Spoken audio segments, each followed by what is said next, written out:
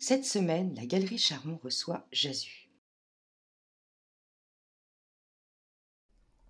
Ma vocation de peindre est venue du fait de, vouloir exprimer euh, une émotion euh, liée à mon environnement professionnel, parce que j'étais éducateur spécialisé à temps plein auprès de, de personnes en grande difficulté. Du coup, j'avais besoin d'exprimer quelque chose et c'est venu par la peinture.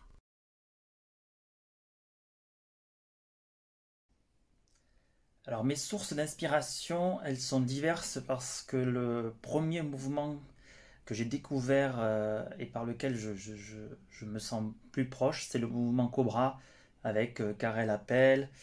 Et puis est arrivée euh, la mouvance des années 80 de, la rue avec Kissaring, Basquiat, Robert Combas, Speedy Graffito que j'aime beaucoup par leur manière d'exprimer le côté brut euh, voilà, et, citer aussi euh, du buffet qui a été le grand porteur de, l'art brut et qui a donné l'opportunité à, bah voilà, des autodidactes, parce que moi je suis complètement autodidacte, de pouvoir exprimer une émotion euh, avec un pinceau, des feutres, un crayon.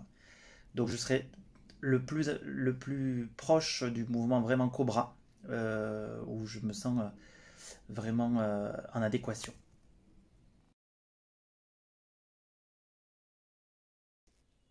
Je ne sais pas s'il y a vraiment des thèmes euh, dans mes tableaux. Ce qu'il y a, c'est surtout des émotions que je ressens quand euh, j'écoute de la musique euh, dans l'atelier ou ce que je ressens de l'actualité qui nous entoure, de mon environnement familial, de, ma petite famille à moi avec mes deux enfants. De, voilà, de toutes ces émotions que je, retranscris sur les tableaux. Les couleurs sont, comme je suis autodidacte, sont complètement, viennent tout seuls. Clairement, ça vient, ça vient à l'instinct.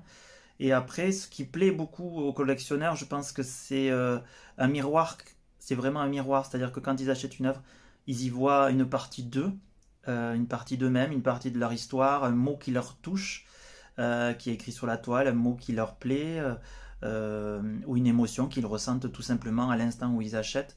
Et ce qui est plaisant, c'est que même plusieurs années plus tard, quand je reçois des mails de collectionneurs qui me disent euh, on a encore vu quelque chose qu'on n'avait pas vu ou une émotion qu'on ressent toujours autant. Voilà, donc ça me touche beaucoup parce que l'idée de vraiment de mon expression artistique, c'est vraiment de donner un dialogue, une émotion, de retranscrire quelque chose qui, va transparaître entre le, le collectionneur qui achète et moi qui les peins tout seul dans mon atelier.